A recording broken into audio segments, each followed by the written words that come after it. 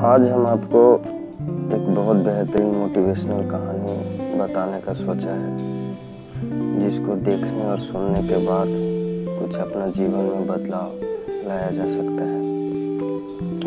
तस्वीर में आपको एक टमाटर के पौधे दिख रहे होंगे। शायद किसी यात्री ने टमाटर के बीज को ट्रेन से फेंक दिया होगा। ये पौधा मिट्टी की छाती फाड़कर नहीं बल्कि पत्थरों को चीर कर बाहर आया है। जब ये और भी नन्हा सा रहा होगा, तब ये शताब्दी और राजधानी जैसे तूफ़ान से भी तेज दौड़ती ट्रेनों का मजबूती से सामना करते हुए इसने सिर्फ़ बढ़ना सीखा। और बढ़ते बढ़ते आखिरकार इसने एक टमाटर को जन्म दे ही दिया। इस पौधे के न हाथ है, न पाँव, न ही दिमाग है।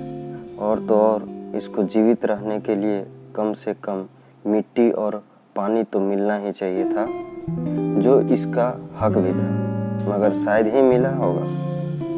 लेकिन इस पौधे ने बिना पानी, बिना मिट्टी के अपने आप को बड़ा किया और फल फूल कर अपने जीवन के मुख्य उद्देश्य को एक फल के रूप में पूरा किया।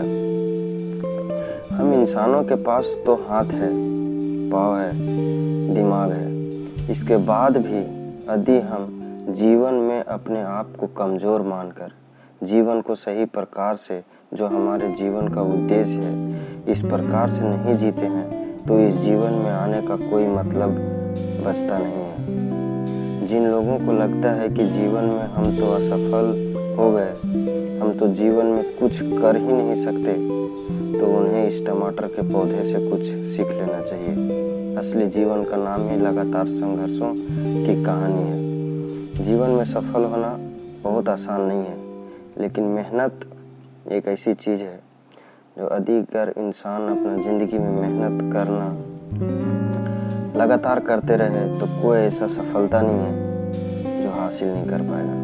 जय